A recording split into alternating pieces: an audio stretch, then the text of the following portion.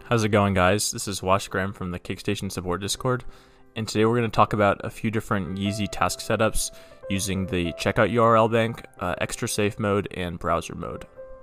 And just a reminder that we have really detailed Google Doc uh, guides for all three of these features, and you should definitely check them out in addition to watching this video. Uh, between both of those two uh, resources, you should definitely be able to understand all these topics uh, pretty clearly prior to the Yeezy drop. So to, to requote the Google Doc guide, uh, the, a checkout URL bank is basically another alternative to the generate checkout URL feature, and it's a way that we developed to help users beat uh, the queue on Shopify sites, uh, such as Yeezy Supply, that can be really, really long and be almost impossible to get past manually. And this is a slightly different method to the gen checkout URL feature. And an important note about this uh, feature is that it is the only one that works for extra safe mode tasks. So you can't use generate checkout URL feature like you would do normally by right clicking a task on the dashboard uh, if you're in extra safe mode. So that's why we suggest using this mode in combination with extra safe mode on sites like Yeezy Supply.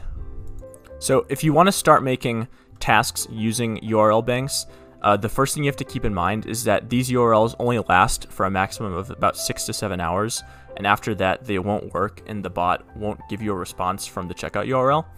So if you're setting up for a surprise drop like on Yeezy Supply, you need to remember when you've made your URLs. So every six to seven hours, if you haven't used them on a drop yet, you should need to delete them and make new ones. So just something to keep in mind. Uh, if you set up way far in advance, you might have to keep on redoing this process over and over again. But it's a very simple process, as you'll see uh, right now. So first, you have to pick a profile because they're profile specific. For this case, I'm just going to use Graham CC. I'm just going to name it CC. And for account login, you just select no because there's no account login needed. Uh, for lock IP, uh, for now, everybody should put no. This is a feature that we're not going to use yet. Uh, username and password fields are grayed out because we're not using a login. And then for proxy list, I'm just going to use all of my data center proxies. And then for quantity, I'm going to put five. And then after that, you can click generate, and then they'll start generating. An important note about the checkout URL generation process when it's going on is that it might actually take a decent amount of time and this is due to a number of different factors, but you just need to be patient when your URLs are generating.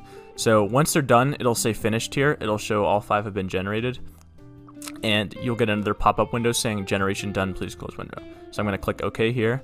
I'm going to click X out of this generator bank, and I'll see here that I have five of them. And so I named it CC, so they just got a 1, 2, 3, 4, 5 at the end, and that differentiates them. So these are all unique, but these can only be used with my profile Graham CC here. So here you have an X that shows they're not IP locked, and you have an X to show that they haven't been assigned to a task yet. And you can show, it shows what time they generated, so you can time yourself sort of by going back and checking this. So I'm going to click out of here right now, and now I'm going to start making some Yeezy Supply tasks with these URLs attached. So I'm going to select Yeezy Supply here from my websites. I'm going to use keywords. I'm just going to use plus 350 for now. We'll, we'll give you more detailed keywords closer to the drop, but for now I'm just going to do 350. I'm going to select all my proxies for monitoring, uh, any available. And then now I'm going to go to the checkout URL bank. So the default mode right now for Yeezy Supply is extra safe, and I'm going to change the payment repetitions to 15, which is what we suggest everybody does. So now I'm going to go to the checkout URL bank. So I'm going to pick my first URL here, and you can see now that it auto assigned the profile to Graham CC, which means which shows you that you can only use that profile on that task. So I'm, uh, going to include a price check of 220. And then I'm to make 10 tasks here.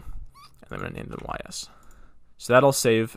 And then when I go to my dashboard, you'll see that only one of them has the bank logo next to it, which means that that one has a URL assigned. And the reason why is that you can only assign that URL to one task. And then you can check this by going back to the URL bank here. And you can see that if you scroll all the way down to Yeezy Supply, there's a check mark next to this URL, which means it's been assigned. So the way to apply them next from here is to select, for this an instance here is that I have four more URLs left. So I can select four more and then click assign URL bank and that'll assign them in order. So if I right click and click edit task, you'll see that the second one got assigned to the second task, the third one got assigned to the third task, etc, etc. But since I only have five URLs, I can't assign any more to these until I make more URLs.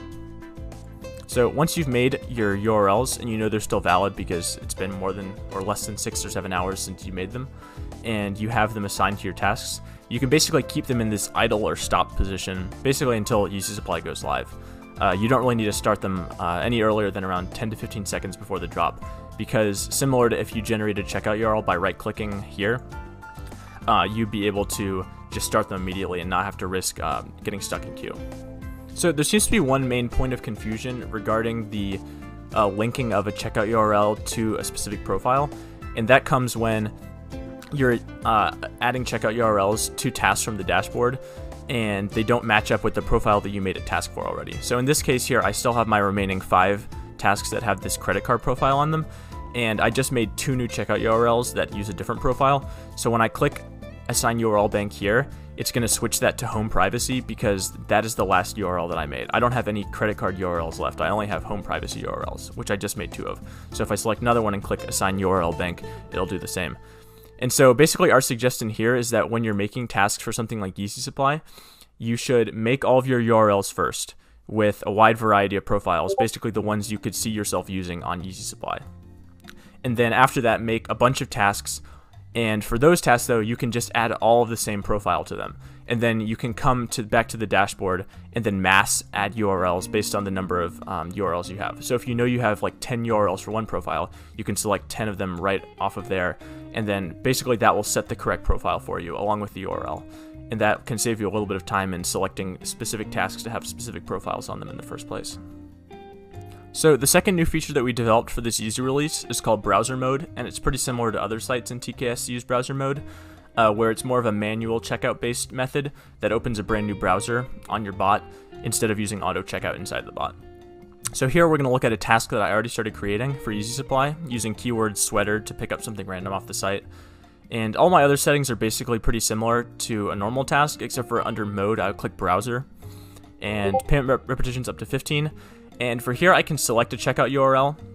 Uh, we definitely suggest that you use the URL bank feature in browser mode. For now, I'm using a test profile with a random card number, so I'm not going to use a checkout URL because I'm not going to make one for that card right now.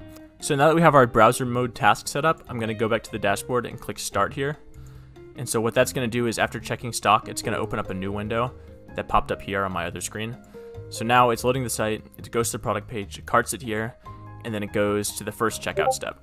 And then from there, it'll say browser ready, and then this will be the screen that it shows you. So basically, it'll fill your shipping info, but then it'll force you to go to payment method and go to the order summary yourself. And this is to prevent Shopify bans, which have been happening more recently at the checkout steps, uh, due to what they assume is bot protection and that's basically all you need for browser mode. It'll show a checkout and a webhook if you have the webhook set up, but that's about as far as the bot will go here, and from then on you have to do a manual checkout. But yeah, it's a very simple method, and we suggest doing it without proxies, doing it on your local host. As you can see, that was an instant uh, browser pop-up, and when you use proxies, sometimes you can wait up to 10 or 15 seconds for this to happen, uh, so we suggest using your local host for this. So that's about it for browser mode and checkout URL bank. Uh, between this video and the Google Docs guides that I'll link in the description, you should have a pretty good idea of how to utilize these features for the upcoming Yeezy releases. And yeah, that's about it for this video. So if you have any other questions or comments, leave a like, subscribe, and tune in next time for more TKS informational content.